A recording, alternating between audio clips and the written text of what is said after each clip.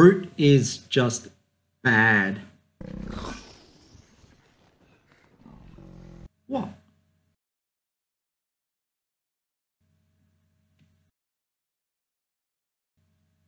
Am I wrong?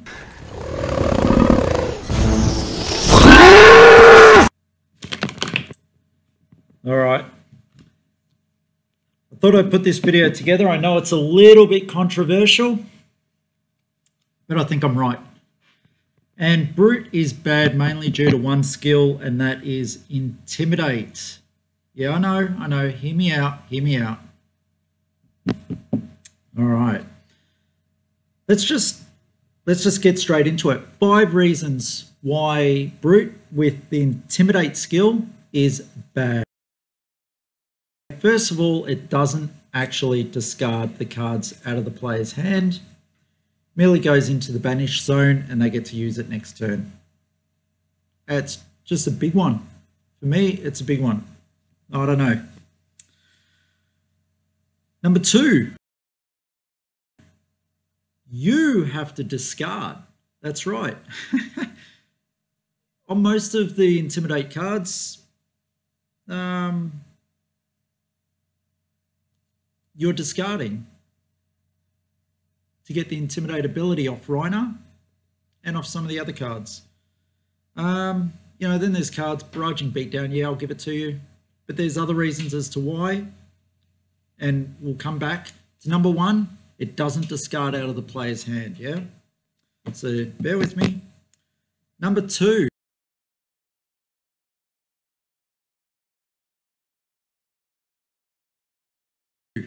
the opponent has cards for their next turn.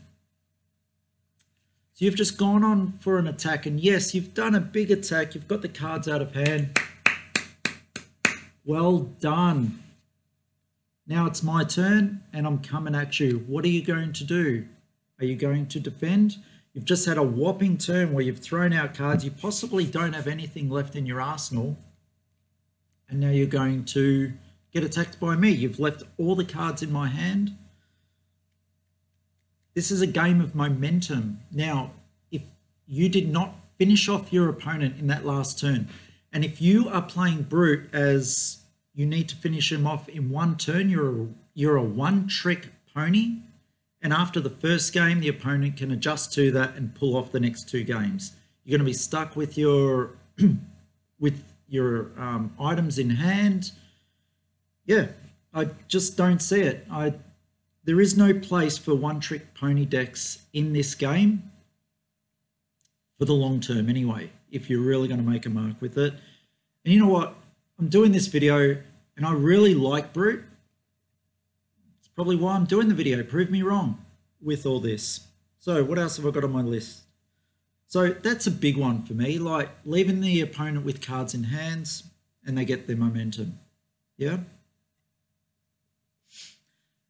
Point number four. You're essentially making the decision for the opponent. Now, you can argue that that's a good thing,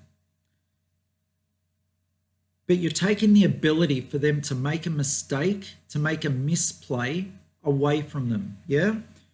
Yeah, you're taking some control, but that's not where the game is at. And coming from the other end of it, being against Brute, like with my ninja cards, where I would possibly defend, you're going to intimidate one. You're to intimidate two cards. All right, I'm left with two cards. They're probably three or two defense each. You're coming over with a big hit. Already I'm thinking to myself, do I block or do I just use these cards for energy to get the cards that you already threw out? Maybe it's a defense reaction. Who knows? You've just intimidated another one out. You know what? One card I'm not going to defend. Unless it's for life, uh, for the game, I'm not going to defend. I'm most likely going to keep it because I can do a lot more damage with one card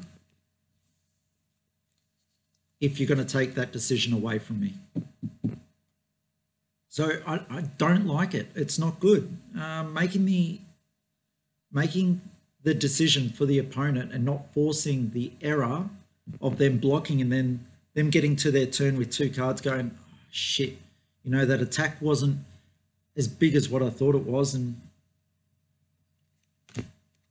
Two Kodachis. All right, your turn. And point number five. And guys, I'm well open to being proven wrong on all of this. Yeah, just throw it in the comments. Have a go. Uh, as long as it creates discussion, it's a great thing. Um, with all these intimidates, you're paying for it. You're paying for it in some way or manner. Now, I've got a card in my hand, Barraging Beatdown. It's probably the worst example because it works so against me. It's a zero cost, three defense, gives Intimidate, and gives pluses to the weapon. So it's a fantastic card by itself. Um, but on the other cards, are you paying the cost? Yeah. Are you comparatively to other cards that you might see in generic cards, are you paying a little bit extra for the Intimidate based on everything else that I've said? Have I said anything that's relevant? Do I make sense? Do I not make sense? Let me know. But until someone proves me wrong, uh, these are my five reasons as to why Brute is bad.